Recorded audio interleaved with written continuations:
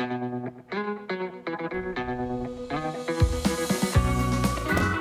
trucks and healthy don't always go together, but we had an overwhelming amount of suggestions for Corner Farmacy, including one from Money Myron who said, treat yourself to the goat.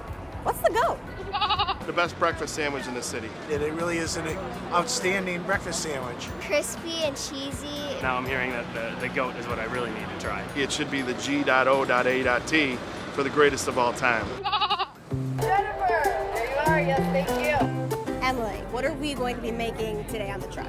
Well, we gotta do the goat. That's our egg sandwich. That's we got egg, bacon, arugula, apricot or peach rosemary preserves, and a little Ellis Farms honey. People have referred to spreading the the word as the gospel of the goat. You know. Emily's been spreading a gospel of her own. All right, it's done. Thank you. One of sustainability and delectability.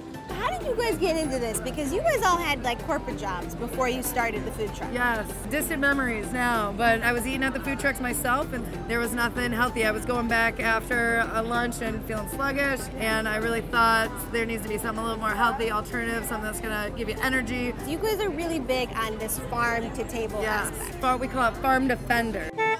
Our niche is the local, seasonal, fresh, high quality foods. It's not your average food truck. feels right when you order it. Do you feel a little bit more connected to your food? I actually watched your last food truck show, and it was missing this one, and it needed to get on there, so I recommended it. Yeah, I think Corner Farmacy is one of Chicago's best. Corner Farmacy is powered by three Iowa girls, dedicated to bringing clean eats to the streets of Chicago, one sandwich at a time. Look how fresh these are. These are from Seedling Farm. They're the first stone fruit pick of the season. This is the benchmark of the goat. It's got apricots and rosemary. It smells amazing in here, by the way, just letting you all know. While our preserves cook down, I learn a little breakfast Sammy 101. You got to season eggs. Garlic salt, fresh cracked pepper. I kind of do a little swirl and then I lift up, swirl. and lift. The new dance move.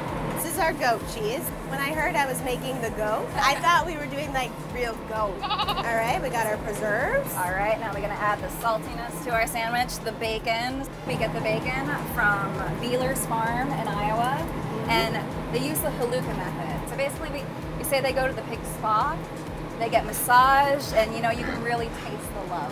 you can taste the There's love. some love in this bacon. Arugula. All right, and then drizzle some honey on there. That's it. Top this baby off, and we got our goat. Are you ready to eat? Oh, I'm always ready. So this is the famed goat. That's a good face. I think it's a good one. The apricot preserves, amazing. When you get the salty of the bacon, Yeah. the goat cheese, The and peppery arugula. This is just such a great combination and something I would never have thought And you together. know, we see what's available, and we're just brainstorming constantly about what to do. You've got another one of your favorites on the menu, the veggie burger. Our veggie burger, which is Delish. The juice is great. You girls are Oh, awesome. thank you. You feel good about eating it. Love this food truck. Greatest of all time. you got it. Right here.